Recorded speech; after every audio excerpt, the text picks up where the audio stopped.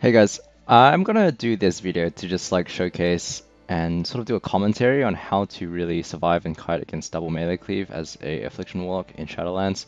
A lot of people have been asking me for this one and just gonna talk through in real time what I do, why I do it, and what I can do better because I actually do make a few mistakes in this video. And uh, hopefully you guys can get something from it, uh, some advice on how to really just survive and where to stand is the main, is the main part. So we're up against Warrior Ret, Priest, probably one of the easier melee cleave comps to kite. Doesn't have a Windwalker. Uh, warriors are pretty kiteable. Ret Pallies are extremely kiteable. So if you play well against this, especially with a Paladin, having freedom is actually huge. First things first, especially on Tol'viron, which is a huge map, the biggest map in the game actually for Warlocks, gateway here to here and put your port behind here. Sometimes if they charge in, they're actually able to stop your gateway, so you always want to be behind this little corner in order to get that gateway across. And uh, you should really tell your teammates to slow them down so they don't just jump in and stop your gate. Because if you get caught repents down, uh, down where you don't have a gate, you don't have a port, and two melee on top of you, it's awful. So really make sure you're behind this pillar so you can get it off. Secondly, what you want to do next is put corruption on both melee and walk away from them. Do not run forwards into them to dot them. Walk this way downwards, corruption them, and just walk away from them. Something to remember is against warriors, they have charge, which is a 30 yard range. All your dots as a warlock, all the offensive spells you can cast, minus fear, is 40 yards. So you have a 10 yard range gap that you can play with where the warrior can't catch you and uh, you can do whatever you want to him. The main goal is to just never let them touch you in the first place, and so with that you can you can pull ahead global for global. You're able to get all your dots up on everyone. He's not able to touch you, and he's just chasing you into terrible spots.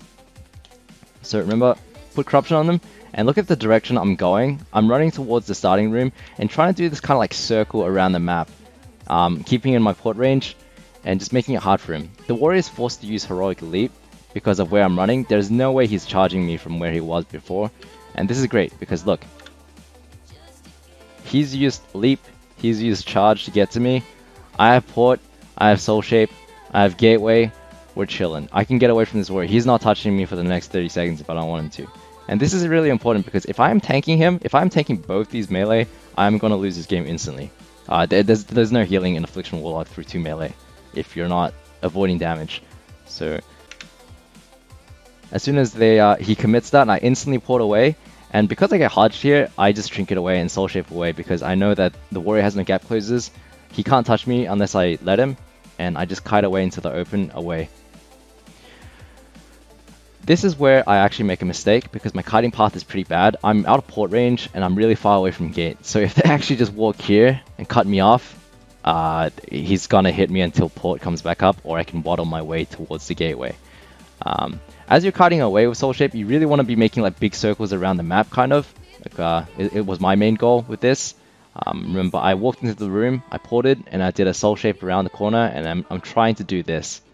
Unfortunately, Snutz actually, Izolo, Snutz actually um, kites them here. I would have preferred if he had just ran into the corner, because then I could have followed, and I would have had the gateway, so this is, I guess, a little bit of a positioning mistake by him. But, um, so yeah, just in this situation, this is a mistake, I guess, from us. The warrior can get to us, can get to me, and if he touches me, he's going to be on me until port comes back up. So I should have seen this a little bit earlier in advance and just moved away a lot more. And another mistake I actually made is I did not keep the warrior and ret slowed. So after I soul shape away, um, the ret pally actually freed him both DPS. After this soul shape here is when I should have reapplied corruptions to the DPS and make sure that they're slowed. I can't stress how important this is. In every arena game as an Affliction Lock, you need to make sure Corruption Slow is on everyone in the game.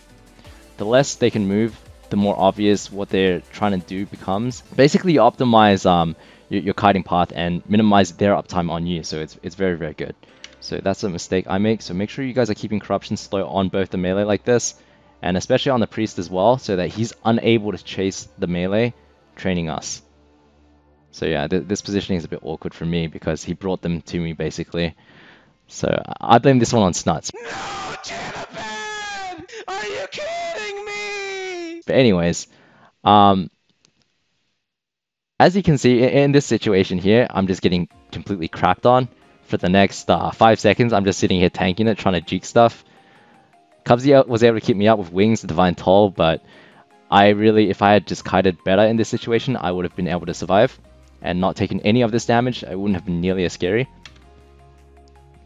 Something you also want to do is, once you get pressure off against them, once you get your dots up and you pop, you really want to port and move away from your port as well. So we talked about how the warrior's charge range is only 30 yards. If I port and move away while he's slowed, I can abuse his charge range so that he's unable to charge me and only use Heroic Leap to get to me. And that's really beneficial because Heroic Leap is the better mobility um, gap closer for them compared to charge. And that's because if he Heroic Leaps to me, I could gate max range away and he wouldn't be able to charge me. Whereas if I let him charge me, it's coming up in two seconds, then if I took the gate, he would be able to Heroic Leap right on top of me and stick on me. So remember, if you can uh, force him to use Heroic Leap first, it's great. Um, because charge is just the lesser of the, the two mobility spells they have.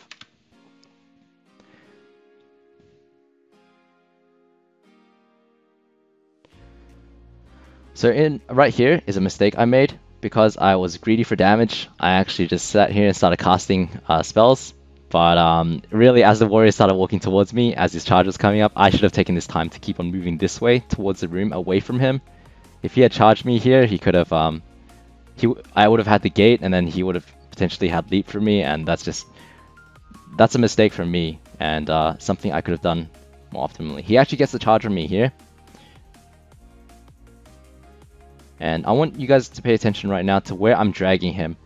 So the priest is at the pillar, and I was like over here, and, the, and both DPS were on me. I could have taken the gate, but I think he would have just leapt on me.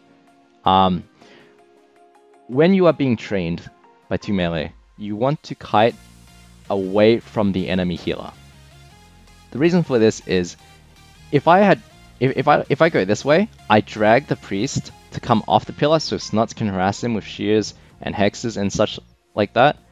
And I can also drag the melee out of range of the healer by going into the corner of the map. So this is actually perfect for me because I know I'm out of port range, but it's not up for a few seconds. I can always walk to the gate, and these guys, they they're making like a terrible like, well not a terrible decision, but they have a hard decision to make. So the priest is slowed and having to come off the pillar so he can get harassed by snutz, and I, am walking away from the warrior who isn't who's reluctant to use leap to get to me, and he doesn't have charge. This whole time, I'm avoiding damage while instant dotting and just uh, I, am winning. I'm winning this exchange if that makes sense because my dots are ticking. I'm doing damage. Granted, not as much if, as if I was free casting, but the warrior is unable to touch me, and the ret is also losing uptime as well.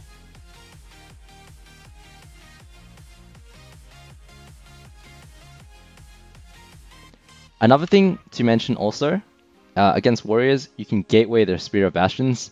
It is the only mobility spell we have that cancels Bastion. If you Soul Shape or Port, you get sucked back in. So if a warrior makes a mistake of Bastioning you, um, you can take the gate. So really keep that in mind because it screws them over really hard, as I do here.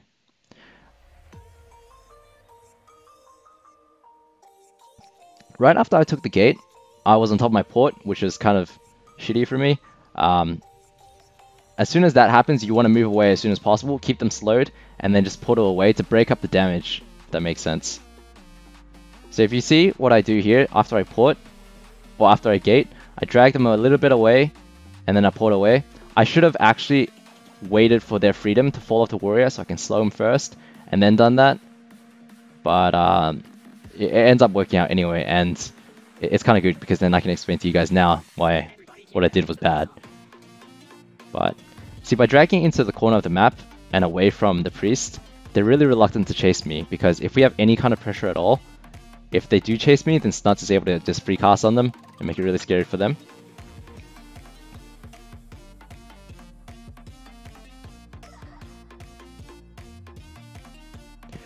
Against double melee as well, you guys might have a hard time casting or really getting damage off if you kite really well and just position in like far away from the enemy healer and make it reluctant for them to chase you, you won't have to fake cast as much because they won't be able to hit you as often. And it's just, it makes the game so much easier to play rather than just sitting there and face tanking them.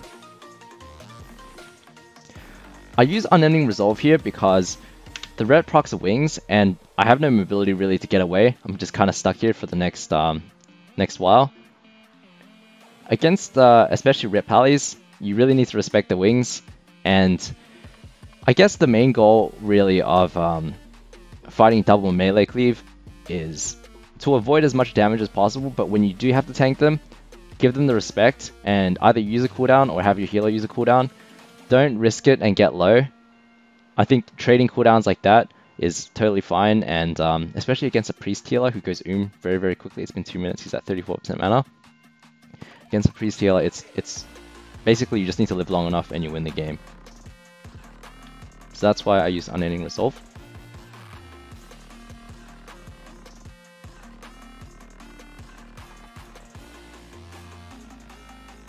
So the reason why I actually kite this way to the corner of the map again, even though it's out of port range, is because I have soul shape available, and I can always soul shape across like this, across the map, draw like a, a kind of like a crescent, and then port back here.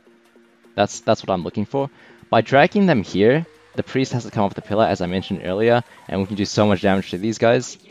If I had dragged um, this way, across the middle of the map, through Snutz and Cubsy, I would have dragged both the Warrior and Ret Pally into range of Snutz and Cubsy.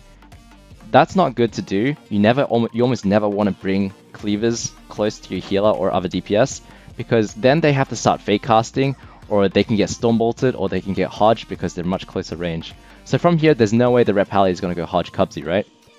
But if I dragged through here on top of him, he might have gone hodge or something. And uh, Stormbolt's also a 30 yard range, um, he might have gone feared or something even though it's not up. So always just drag them away from your teammates and away from the enemy healer too.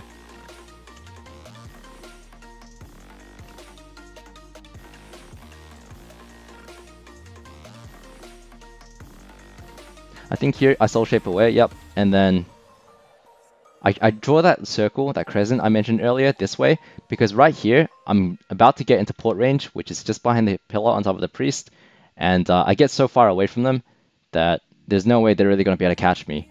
The warrior tried to charge me on my soul shape, but I got away again, had another blink. If he does heroic leap to me, I can just simply port and we're just chilling. I'm 40 yards from him, I can just free cast him and, well, Snutz ends up killing the priest randomly. But, um, yeah, hopefully this was at all helpful. I guess the main things you guys want to take away from this is avoid damage as much as possible never really greed your damage for um for for theirs. Respect their cooldowns and just run away the whole time, basically. Run away the whole time. Try to force their mobility without using yours so that you can port. And hopefully, um, me mentioning some of the mistakes I made was helpful to you guys because facing melee cleave is not easy. It's very high pressure, and yeah, hopefully, hopefully this guys this is helpful. Thanks for watching. Don't forget to like, comment, and subscribe.